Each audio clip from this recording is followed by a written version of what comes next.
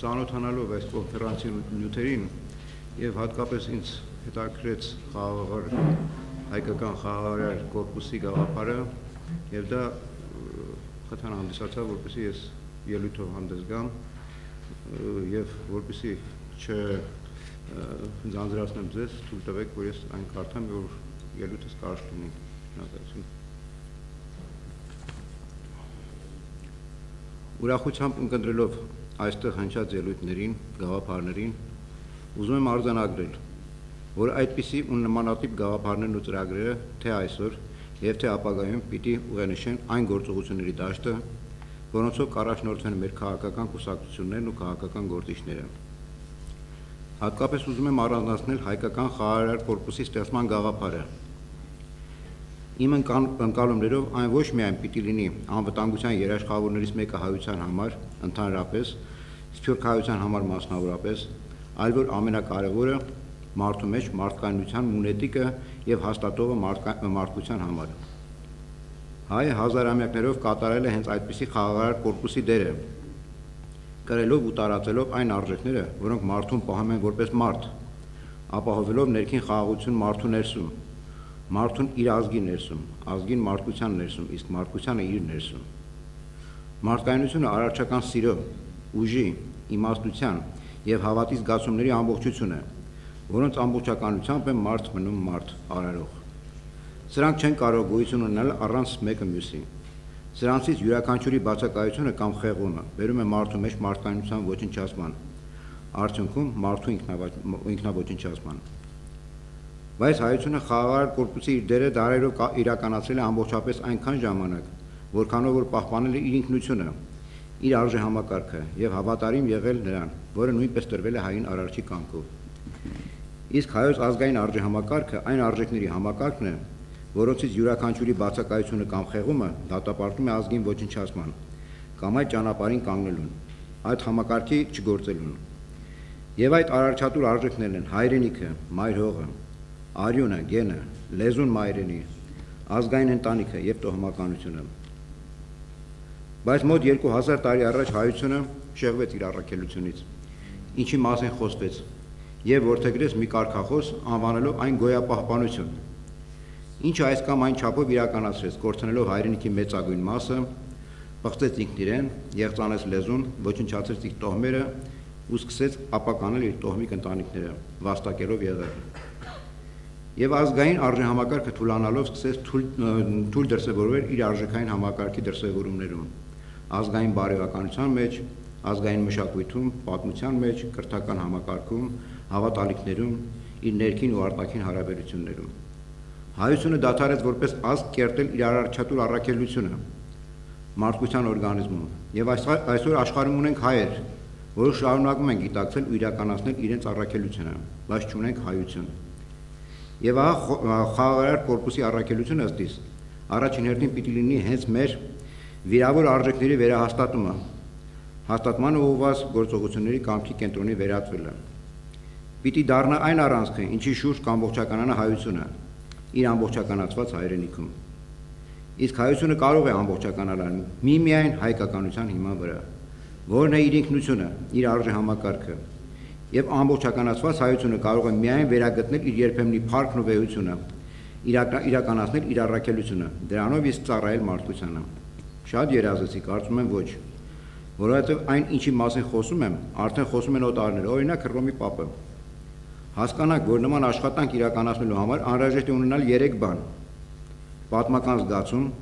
կազմակերպված ուժ եւ ապագայատենչ խռովք։ Եվ եթե խոսում ենք խաղաղարար կորպուսի մասին, ընկալում ենք դրա անհրաժեշտությունը, նշանակում է արդեն ունենք կամ հիմքն ենք դնում այդ երեք բաների։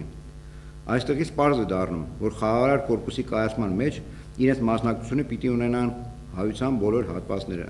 տարբեր տարբեր մասնագիտությունների տեր մարդիկ, որոնք զինվորագրվելով այս գործին կարող են դառնալ ոչ միայն զինվոր, որը մասնագիտություն է, ոչ միայն մարտիկ, որը բնավորության գիծ է, այլ որ ամենակարևորն է ռազմիկ, որը հոգեվիճակ է։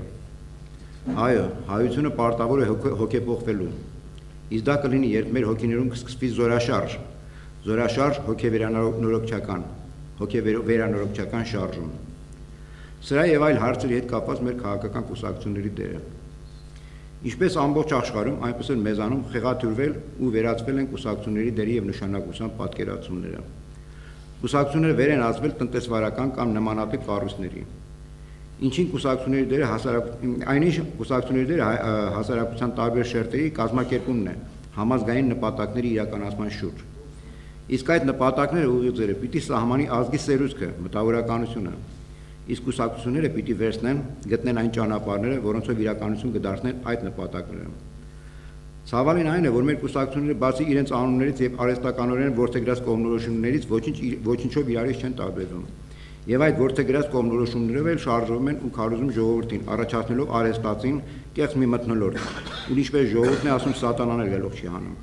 Այսպես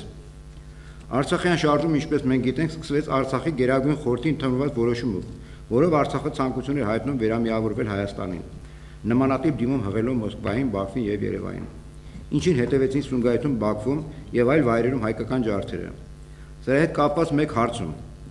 1987-ին թալիշները հրճակեցին իրենց անկախությունը, բայց նմանատիպ ջարդեր Ադրբեջանում տեղի չունեցան։ Պրիդնեստրովյան հրճակեց իր անկախությունը, բայց Քիշինյովում ռուսի քիչ չարունոտվեց։ Չեչնյան իրեն անկախ հրճակեց, բայց Մոսկվայում չեչենները ապրում էին թակավորի պես։ Ինչն է պատճառը, որ այդքան վրթովեցրեց Բաքվին։ Պատճառը մեկն է՝ շարունակական ցեղասպանություն, որը սկսվել է ավելի քան 130 տարի եւ իր գագաթնակետին հասավ եւ տեսանելի էր դառնում ԽՍՀՄ փլուզումը։ Ադրբեջանը բաժանվել էր երկու մասի՝ մի մասում հայեր են սպանվում եւ մյուս մասում Արցախում հայեր չէին սպանվում։ Եվ Բաքվից, Սումգայիթից եւ այլ վայրերից դեպի Արցախ գաղթեցին մոտ 630.000 հայեր եւ ինձ պաշտպանությունը գտնելով Արցախում Արցախցու հետ միասին անցան ինքնապաշտպանության նաև ազատագրված տարածքներում։ Հետագայում շատերը լքեցին ոչ միայն Արցախը, այլև Հայաստանի Հանրապետությունը։ Բայց այսքան սեղմ ներկայացված իրողությունը միջազգային հանրությունը ձևակերպեց այսպես. Լեռնային Ղարաբաղը ապստամբեց դիմելով զինված ազատագրական պայքարին, ինչին հաջորդեց ադրբեջանական միավորումների կողմից իրենց այսպես կոչված տարածքների ազատագրումը, որոնք օկուպացվել էին Հայաստանի Հանրապետության բանակի կողմից։ Եվ այս անվանեցին Ղարաբաղյան հակամարտություն, եւ ստեղծվեց Միսկի խումբ, որը պիտի վճռի այս հակամարտության ճակատագիրը։ Եվ ծնվեցին մեկը մյուսից абսուրդ սկզբունքներ, որոնց գագաթնակետը հանդիսացավ մադրիդյան սկզբունքները, ուր ուղակի նշում են օկուպացված տարածքների վերադարձի պահանջը։ Ինչ են անում մեր կուսակցությունները։ Մեկը մյուսի յետևից արագ-արագ հիշատակելով մադրիդյան սկզբունքները, արձանագրելով փողզիչումների անհրաժեշտությունը, փորձ անգամ չեն անում գլուխներին զոր տալ եւ գտնել այն ճանապարհները, որոնցով վերջ կդնեն այդ արհեստականորեն ստեղծված հակամարտությանը։ Կորցեցինք սիրիական մայր Սփյուռքը։ Մեր հարազատ կուսակցությունները բերանները ջուր առը սպասում են, թե ինչ դիրքորոշում կունենան գերտերությունները եւ ինչ լուծում կգտնեն։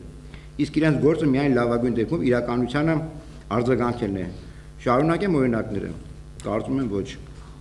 Այստեղ հնչած գաղափարներ իրենց լուծումներով բավականին խորն են ու թարմ։ Ինչ խոս, դրանք հանգամանալից ու խորը քննարկումների կարիք ունեն, բայց ոչ քննարկումների համար, այլ լուծումներ գտնելու եւ իրականացնելու համար։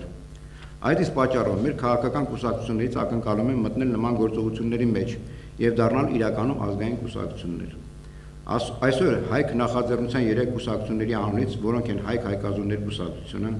Նժդեհան ցեղակրոն կուսակցությունը, Քրիստոնյա ժողովրդական վերածնունդ կուսակցությունը տեղեկացնում են, որ պատրաստ ենք մեր չափով վերցնել մեր հասանելի պատվավոր բեռը, զտելով վերականգնել քաղաքական կառույցների բարի անունը, դրանով իսկ մասնակիցը դառնալ հայ քաղաքական մտքի վերազարթոնքին։